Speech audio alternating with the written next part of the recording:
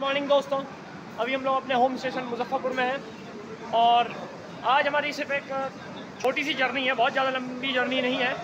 और वो जर्नी है हम लोगों की अपने देश इंडिया की लॉन्गेस्ट डेली ट्रेन यानी अवध आसाम एक्सप्रेस में।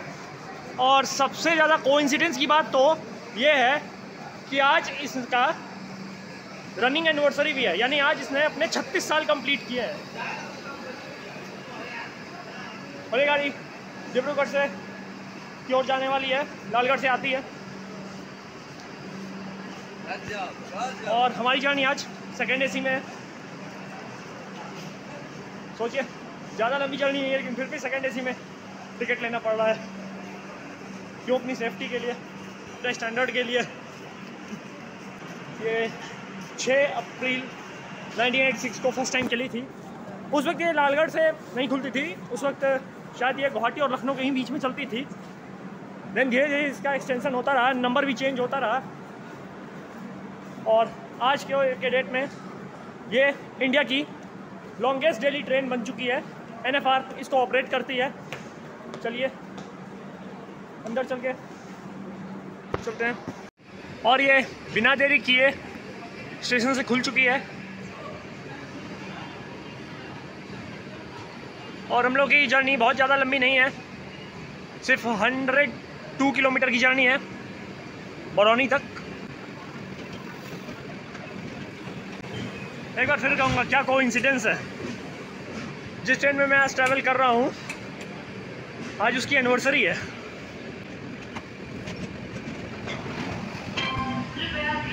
और ये पीछे लालगढ़ से आती है रूट है इसका, वहाँ से पहले पटिंडा जाती है, वहाँ इसका रेट घुमाता है। और वहाँ पे इसका डीजल इंजन हटा के वापस इलेक्ट्रिक इंजन जोड़ता है।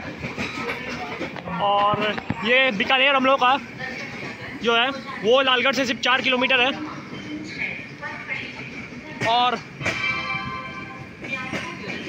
और क्या है कि फिर वहाँ भटिंडा पार करने के बाद उधर जिंद रोहतक देते हुए पुरानी दिल्ली आती है। देन वहाँ से आगे बढ़ते हुए मुरादाबाद, लखनऊ गोरखपुर देते हुए यहाँ मुजफ्फरपुर आई।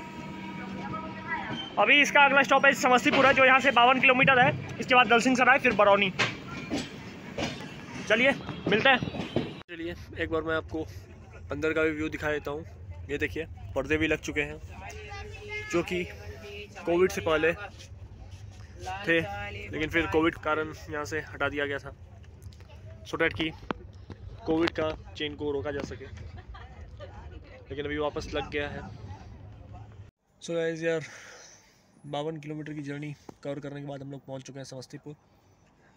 और ये हम लोगों का ई e में समस्तीपुर डिवीज़न का एकमात्र स्टॉपेज सॉरी एकमात्र स्टेशन है। और यहाँ ट्रेन अपने समय से आठ मिनट पहले पहुँची है। खुलेगी तो टाइम पे ही ना। यहाँ हम लोग की गाड़ी पाँच नंबर प्लेटफॉर्म पर आई है। ये बगल में चार नंबर है। और जैसा आप देख रहे हैं, अपना एल रैक है। चलिए, इसके बाद दल सिंह सराय रुकेगी, जो यहाँ से करीब 24 किलोमीटर दूर है। उसके बाद बरौनी। ये अभी हम लोग दल सिंह सराय में हैं, और यहाँ भी गाड़ी अपने टाइम से ही है। दो मिनट पहले ही पहुँची थी, और दो मिनट का स्टॉपेज है। इसके बाद इसका डायरेक्टली सत्ताईस किलोमीटर बाद बरौनी में स्टॉपेज है। जहाँ मैं उतर जाने वाला हूँ। ये स्टेशन वापस सोनपुर डिवीज़न में पड़ता है। तो so गाइज़ हम लोग फाइनली बरौनी पहुँच चुके हैं। और यहाँ हम लोग समय से दस मिनट पहले हैं। वैसे सही पूछे तो आज ही मेरी रिटर्न जर्नी भी है। लेकिन अभी मैं श्योर नहीं हूँ कि कब तक लौटूँगा क्योंकि एक छोटा सा काम है यहाँ। जितनी जल्दी हो जाए, फिर उसके हिसाब से जो ट्रेन मिलेगी। और वैसे इसी के रिटर्न वाली ढाई बजे है। वो अगर पकड़ा गई तो ठीक है अदरवाइज़ सीधे छः बजे अगली गाड़ी है।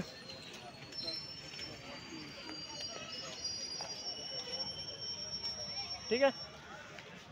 चलिए, आपको वापस आके डिस्कस करते हैं। सो गाइस वो स्टेशन बोर्ड है। यहाँ ट्रेन नंबर लगी है। और ये आपको उधर का रिव्यू देख लीजिए। सो गाइस यार हम लोग बरौनी आ चुके हैं स्टेशन और अभी करीब डेढ़ बज रहे हैं। और जैसा मैंने कहा था, ढाई बजे ही एक ट्रेन है। तो उसमें टिकट भी मुझे मिल गया लेकिन ये मुझे फ़र्स्ट एसी में मिला है। और ये इसी तरह से ये मेरी लाइफ की फ़र्स्ट जर्नी होगी फ़र्स्ट एसी क्लास में। ट्रेन वही है। अवध आसाम नंबर बस चेंज हो गया है one five nine zero nine क्योंकि ये दूसरे डायरेक्शन की है।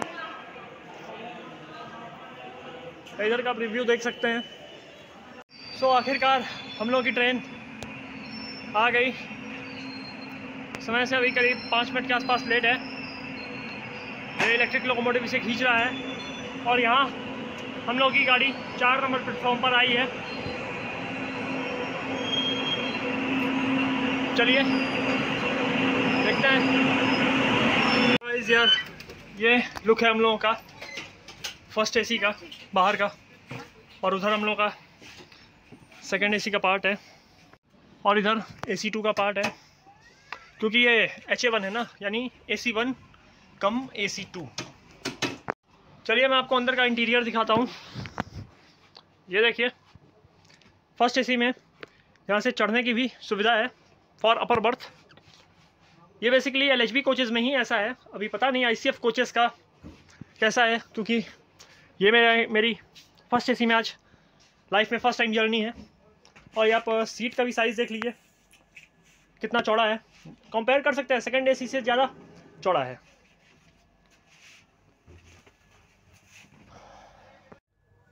ये इसमें इधर लाइट की भी सुविधा दी हुई है, जैसे ही सेकंड एसी में रहती है।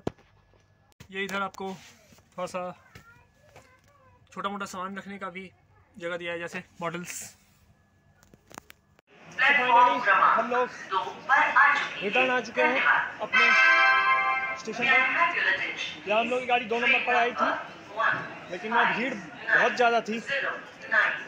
और इसीलिए कवरेज नहीं ले पाया। चलिए हमारी जर्नी यही समाप्त होती है। मिलते हैं अगले ब्लॉग्स में। Thank you